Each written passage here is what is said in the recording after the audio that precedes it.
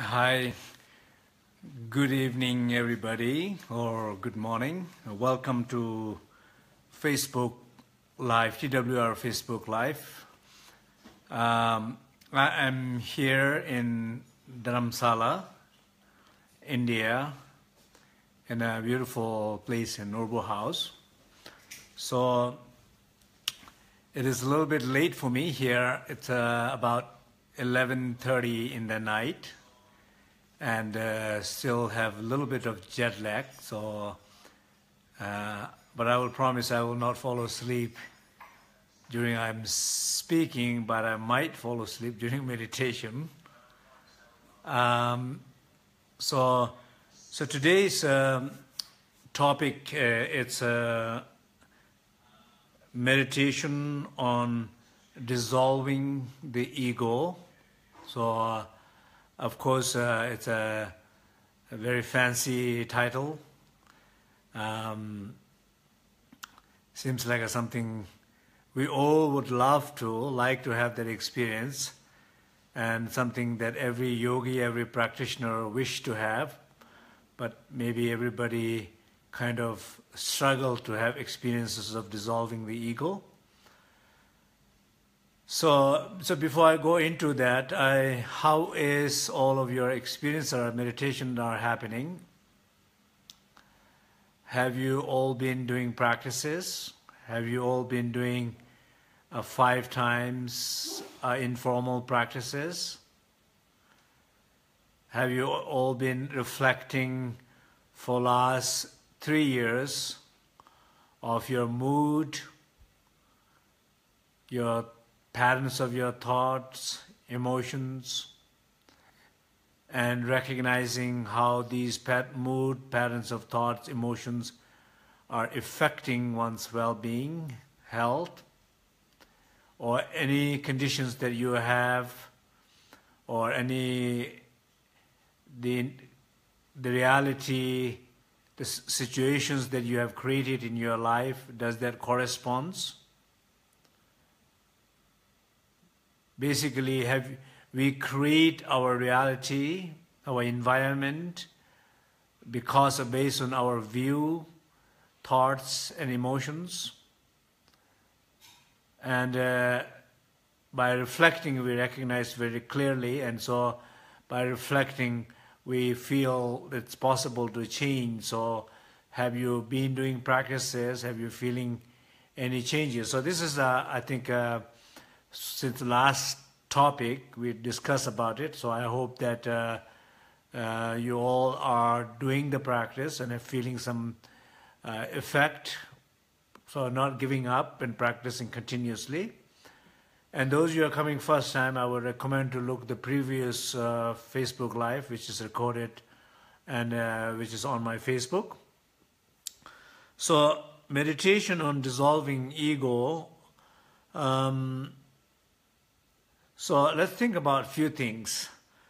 Meditation on dissolving ego, meditation on dissolving pain, meditation on dissolving body. Uh, so if you think about like in ancient practices, like in Dzogchen, the great system of great perfection, there's a lot of his, historical accounts where many yogis and masters have achieved body of light, light a so-called rainbow body. Uh, so how they achieve the body of light, how they achieve the rainbow body, is because they actually, that power of their meditation and awareness, they dissolve entire their body into a light in the in the moment of the death, moment when the process of dying, they are able to dissolve entire their physical body matter into light. Uh, just imagine, you know, um, how powerful that, that would be. So, if that is possible, um, then obviously the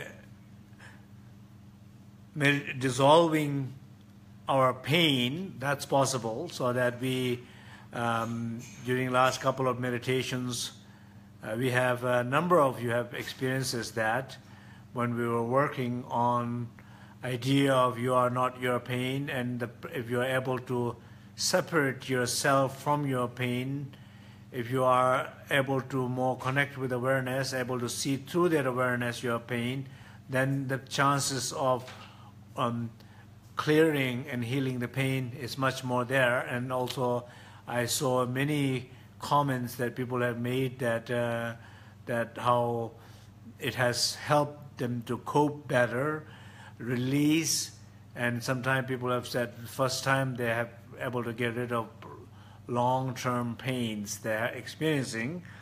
So those are, I think, is amazing. So that that basically means that you are clearly able to overcome your physical and emotional pain. That means you are able to dissolve your physical and emotional pain. So if you're you're able to deconstruct your physical body, you are able to deconstruct your emotional and physical pain. Reason why we are able to do those is because um, one will one will or one is able to dissolve the ego.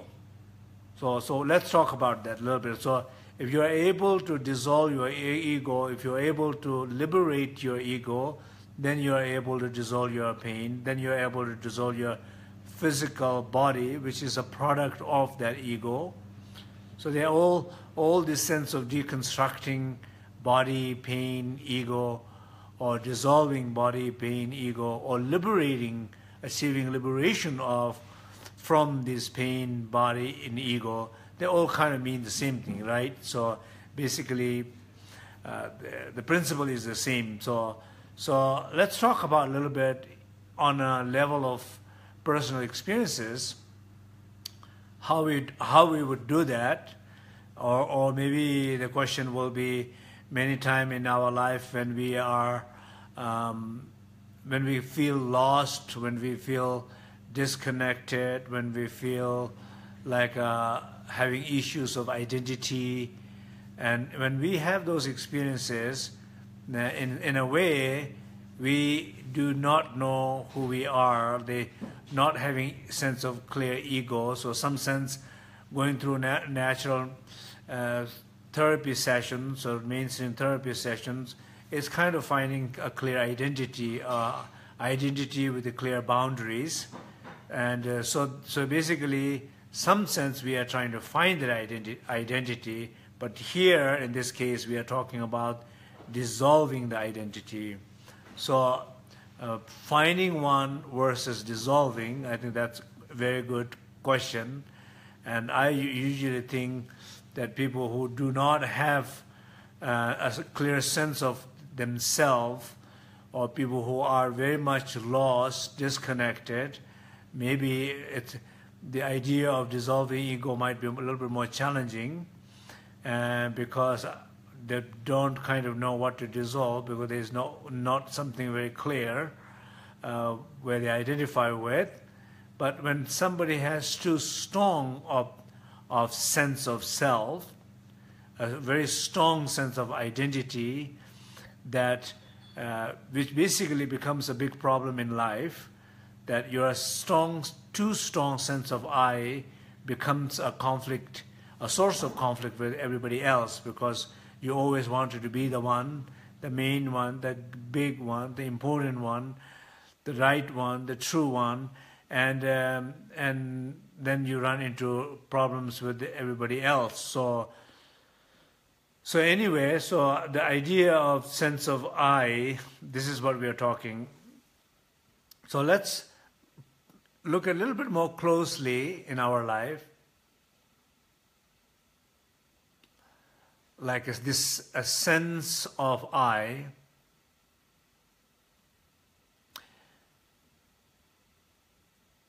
Think about any given moment in your life, maybe think about this particular moments in your life when you feel challenges.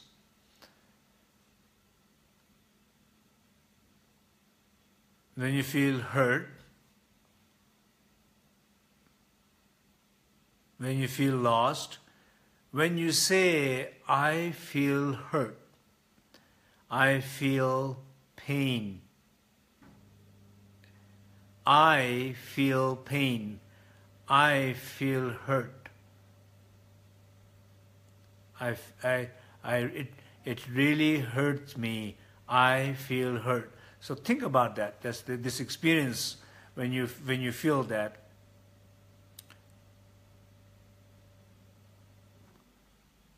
let's for a moment it's like a camera you know you have a camera facing out and then you press this little camera button up there which that's what which I do and then it faces you so let's face a little bit like that you look at inside yourself and look at that clear sense of I feel hurt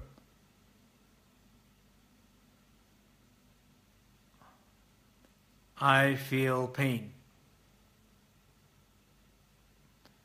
Trying to find that.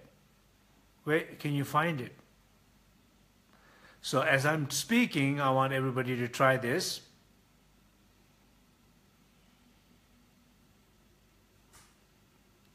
Sit comfortably.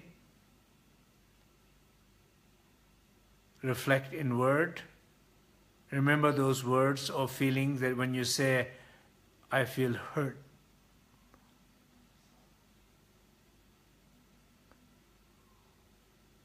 Who is that?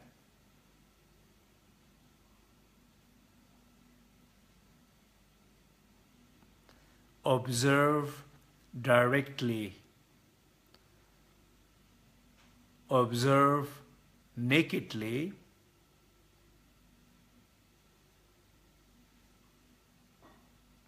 it's like a, a very powerful lens, camera lens. You're zooming in, you're getting closer, closer, closer, closer to that sense of I, or to that sense of one who is experiencing the pain. Closer, closer, closer, closer, closer like a camera, some point you do not see any particular image. You see, uh, simply you see pixels of light. You go closer, closer, closer, then you don't see even those pixels of light. It's just become a space a clear, open space.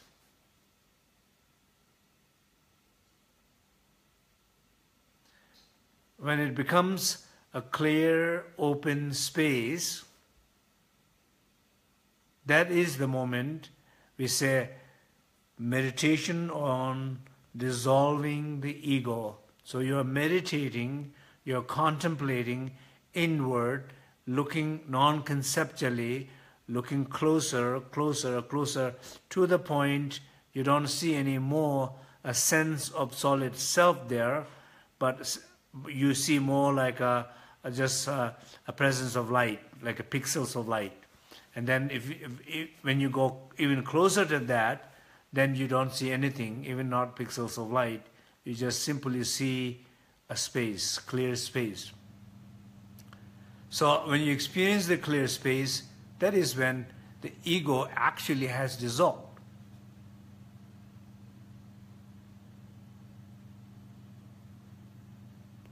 So in a way, maybe it's like a there are like a hundreds and thousands of uh, ego there inside. In a way that every single pain is product of one specific ego. Or every single disease, a blockages, is also a product of very specific ego inside. So ego, a sense of self, is actually uh, creating those things.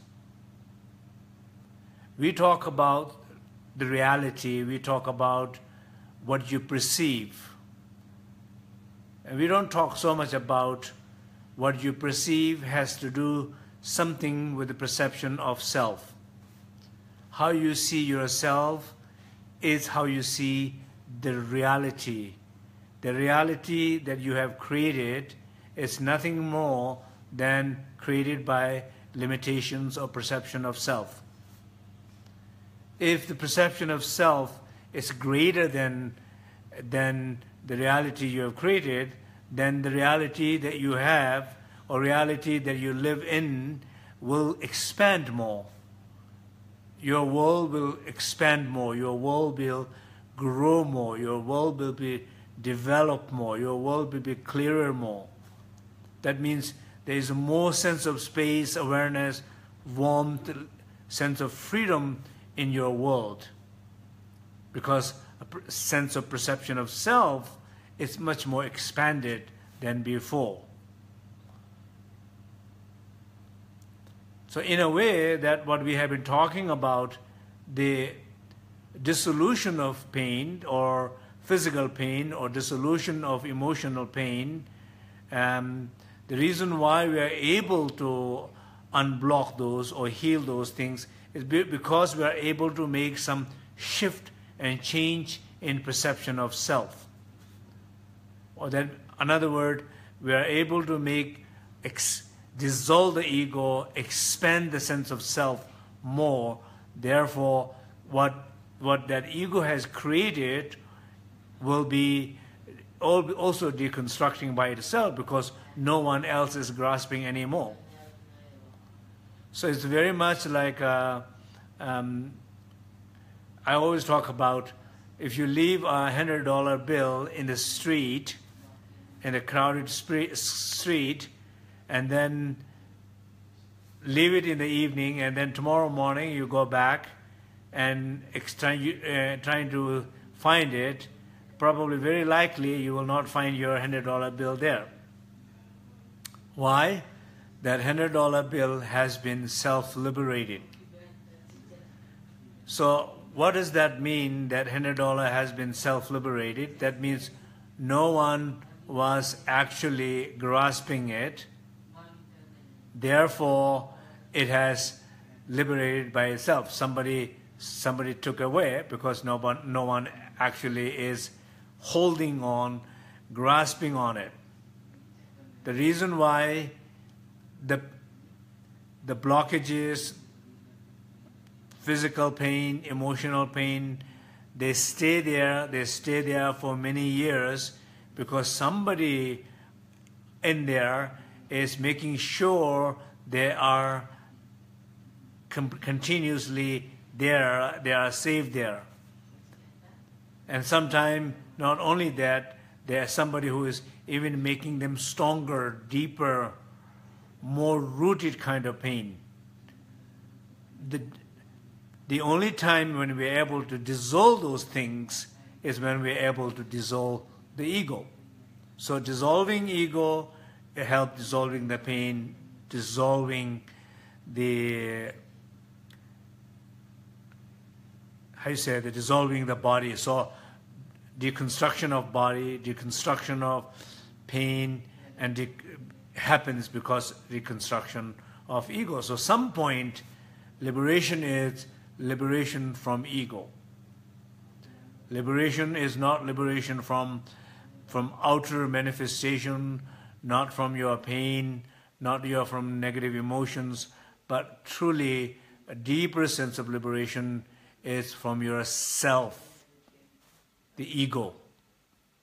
That is, in the teaching in the Dharma, that's ultimate, you know, ultimate, because the, the ego or the grasping mind is the, it is, it is the one which produces every single pain and emotion.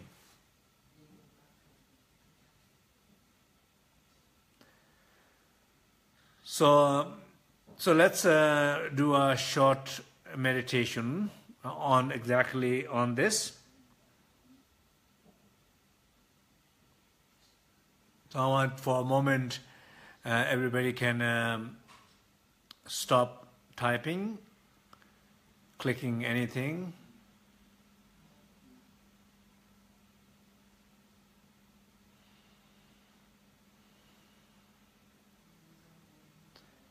Take five deep breathings.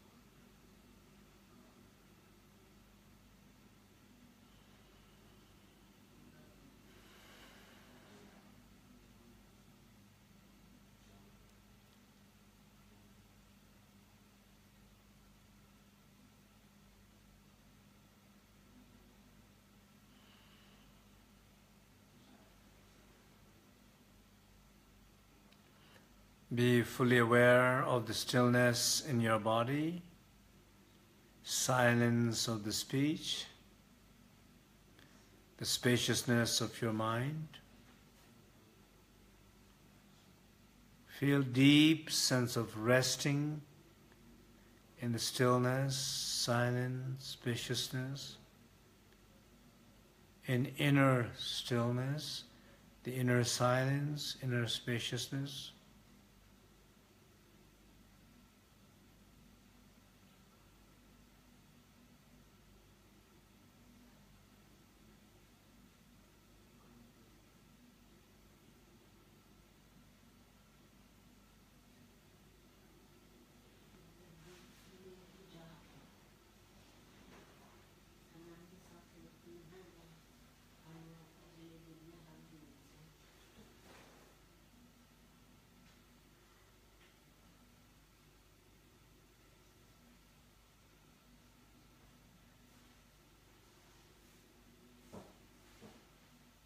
And be aware of reference to self, like when you say, I feel hurt.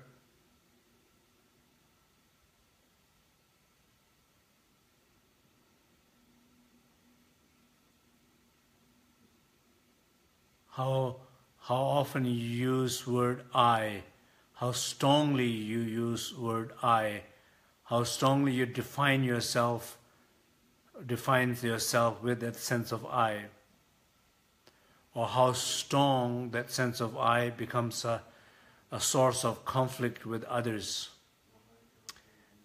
how, how often it becomes division, separation from others. How often you feel that disconnectedness with the rest of the world, with, this, with that sense of I. That very I. Just feel that. How do you feel? How often do you feel? Where do you feel?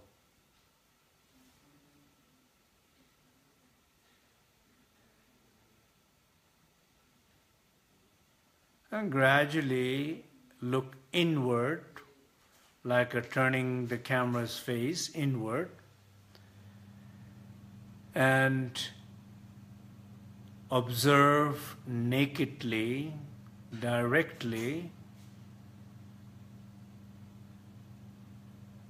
and then like zoom in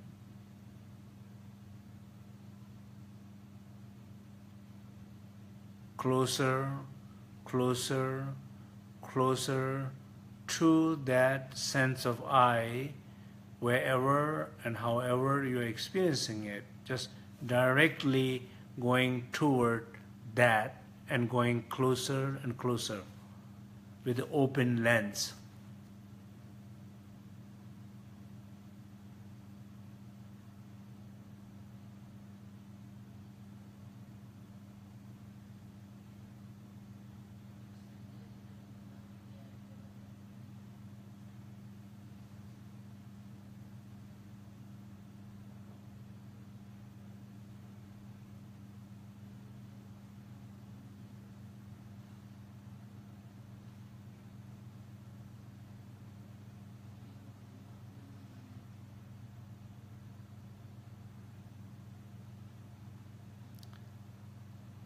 As you go closer and closer and closer,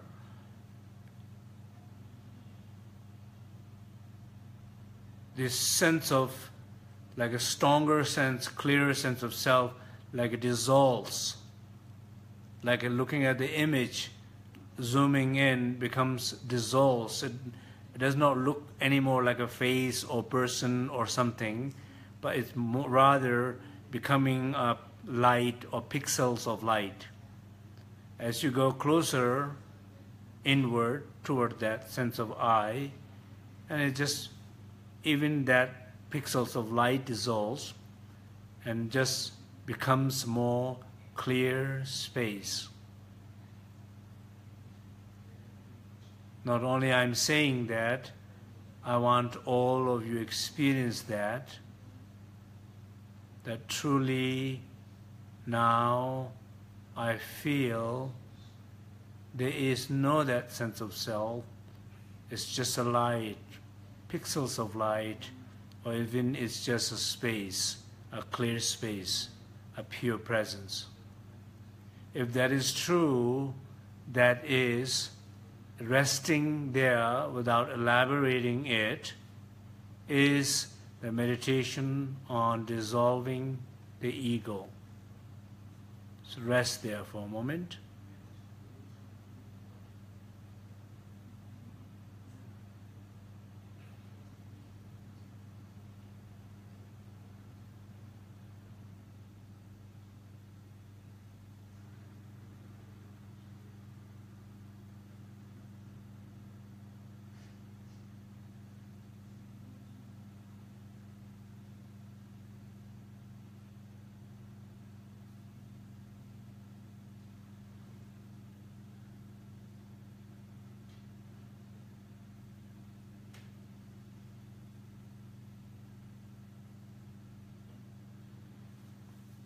Okay, you can open your eye.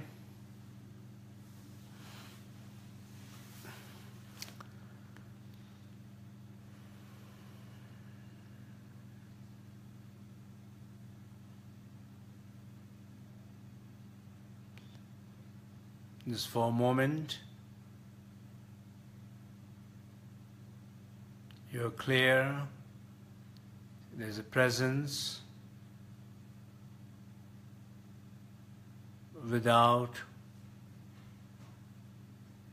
that particular I, the ego. Okay, so so I'm happy to hear that if you if you all have a, wanted to share your experiences with dissolving your ego. How do you feel? Is it possible to do that? Just think about it that uh, causal relationship, if there is environmental issues, if there is relationship issues, if there is a disease, if there is blockages in the body, if there is pain in the, in the body or in, in deep wound, these all are created Basically, these all are created. They are all, not only they are created, but they are held by, saved by, by ego. And as long as the ego is there, it, it, it survives. It stays there and stays continuously for a long time. So in order to dissolve them, it's not like you're trying to dissolve them something outside, trying to change something, you're trying to change your reality outside. That's not going to happen. Unless you change something inside, the one who have created, or at least the one who is grasping on it, is not allowing it to liberate. So there is no actual self-liberation. The only way to have the self-liberation is to actually dissolve the ego, the one who has created, and the one who is keep continuously grasping in it. That's what it is. So if, if you look any situation in a life, either it's a disease or pain or a sickness or conflict, they're not going to go away un, un, unless there is something inside you a particular ego, a particular kind of ego, which is responsible, directly linked, connected to those situations or those blockages, pain, and you are able to make shift to that, and the outer situ- outer world is automatically going to change. And this is what, what between the good practitioner, good meditator, and a bad meditator, is good meditator trying to work on level of I, level of personality, the bad meditator trying to change the situation outside without make, trying to make any changes inside oneself, or the ego or the personality is always trying to change outer situation, running away from the place, running away from the relationship, running away from the responsibility, avoiding the pain, denying the pain. And this is what most of the time people do. And the fact you are denying it, you can never deny it. Or the fact you are denying it, you can never get rid of it. By denying it, by suppressing it, is clearly confirmation of that you are not able to get rid of it. So I, I, don't know why we do that. Because maybe some, some sense we think we're able to make some changes there, but the truth is by just just say this the fact you are denying it or suppressing it, it confirms that you are stuck with it. You are not free from it. And you are you will not able to be free from it as long as you keep denying. But when the moment you able to address the I, the ego, the creator, the grasper, the saver, the, the guard, you're able to make any shift on that sense of self, then everything what you have created will automatically self-liberate. That's the beauty about beauty is what called self-liberation. It will go by itself because nobody's nobody's holding on it. Like the hundred dollar bill in the street. So so how is your meditation? Well, I, I don't see much comments here today. Seems like uh, uh, quiet here. So how is your meditation?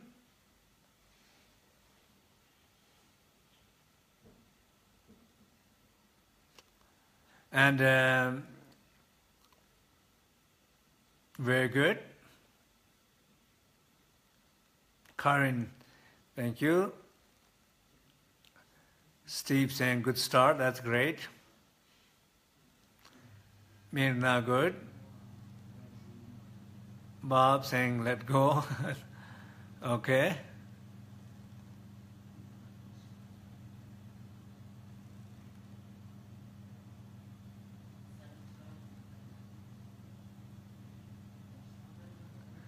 Okay, so you know, um, basically the sense of self, which is absolutely necessary, but also the sense of self, which is what creates all the problems. No self, no problem. Even and there are meditation. There is one meditation. It says when you have a headache, when you have a headache, you visualize that you do not have a head. If you if you are successfully able to visualize you do not have a head, then you do not have a headache. So same way, if you are able to dissolve the ego, then everything that particular ego have created, it dissolves by itself. Uh, that's the that's the only way how the how rainbow body happens. That's only how true healing happens because some a shift in the sense of eyes level of perception changes. So these are the, you know, I think it's a beautiful, um, in, in a way, if it's like going to the right right place to work rather than going to the wrong place to do work and expect some great outcome that's not going to happen so i hope that um, this session was helpful and uh, i i know like uh, it's almost like uh, after midnight here in india and uh, I was clearly a little sleepy. Now I'm more awake fully.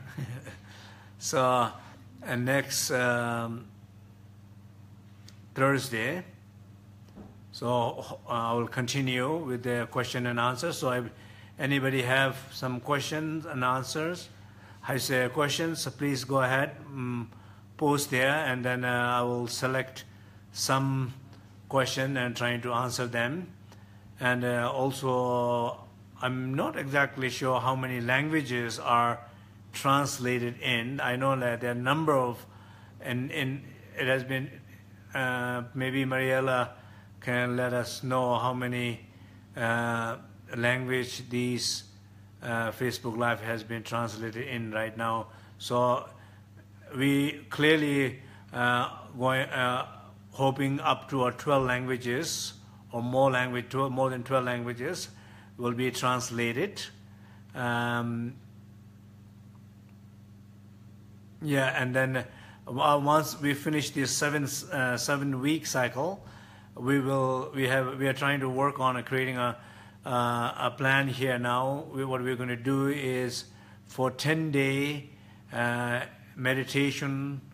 Uh, every day we'll meditate on uh, clearing clearing a pain. Uh, for 10 days, every day we'll have a guided meditation and uh, we'll organize in a way that um, based on the languages so that each country will have one, one person who will guide the meditation. Uh, i am going to train all everybody and then we'll have the guided meditation by those people for, I'll start first day and then they will continue for eight days. Then I will start another last day, so a 10 day meditation. I think uh, so. I am very excited about. We are right now planning, work, working out the details. So as we know more things about it, we will let you all know. So thank you very much. And uh, if you are, it's a good night, it's a good morning. I will see you soon. Thank you. Bye now.